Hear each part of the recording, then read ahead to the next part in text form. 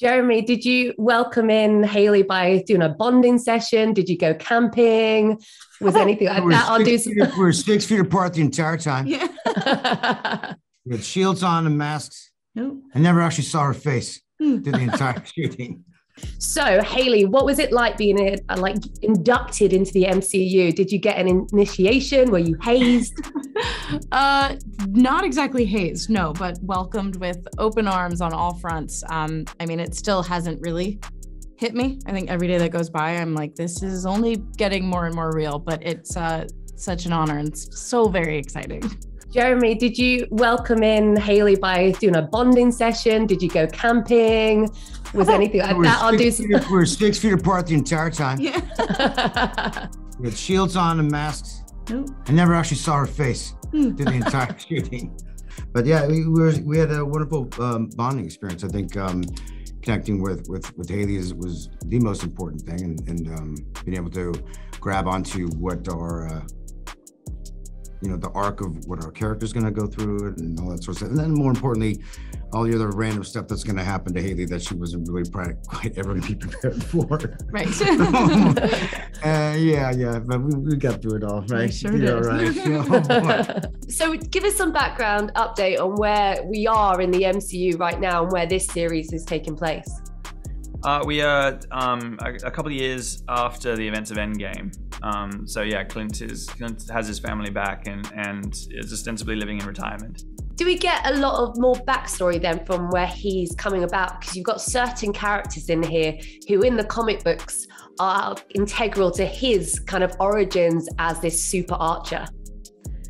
Yeah, I mean, I think that's the fun is that you know what you do know of Clint uh, through his time in the MCU is that he, he has this past that we haven't seen, and um, and you know that he's crossed paths with with various people, um, and and so yes, it's it's very much about his past. One of the key bits we see established earlier on is that he's got a hearing aid now, which is again, but that's like an old kind of Hawkeye reference. How much will that um, inform his characterization in the series? Does it affect him in any way?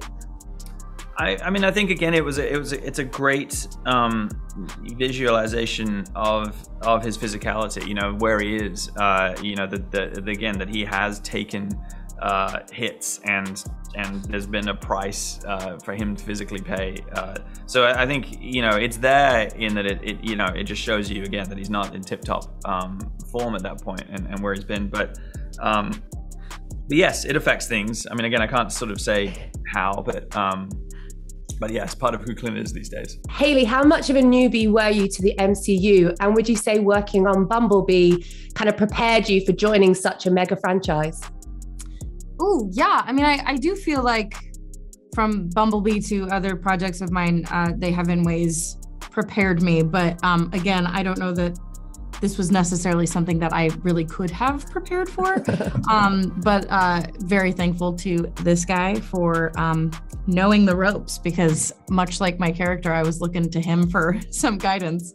What do you hope then for this series? What do you hope people take away from it? And I suppose, could we get a bit more of Hawkeye's backstory? Obviously, Black Widow got hers, but are we going to find out some little details?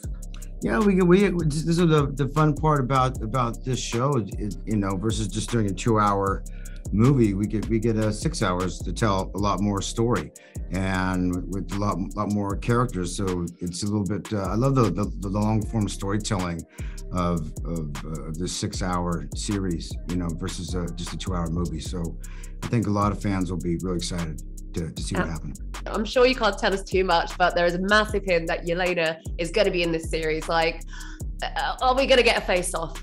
Do you see this this poker face? MCU, the Marvel snipers are like wait for the red dots to show up so you don't give it away. Yeah, Um, exactly. Well, there's a scene in the early first episode, Rogers the musical. I would love to know uh, what Hawkeye's, if you can think of, what would Hawkeye's song be in Rogers the musical? What would his solo song be? Do you think? Oh, yeah, I, don't- I don't know. yeah. I, I'm not sure.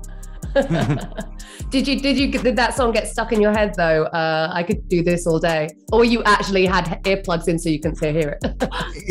method that, Yeah, it's pretty that method. moment, yeah. uh, no, no, yeah, definitely. You know, we yeah, heard that song quite a bit. So yeah, it's it's pretty catchy.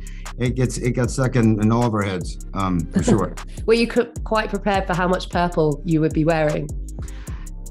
Uh, yes and no. I mean, I like obviously had an idea, but then didn't realize that my whole world was soon to become all and nothing but purple.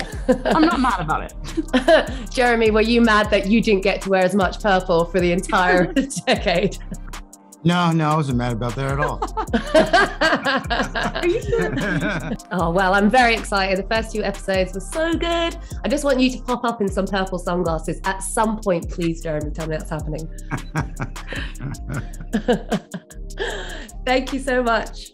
Thank you. yeah, thank you.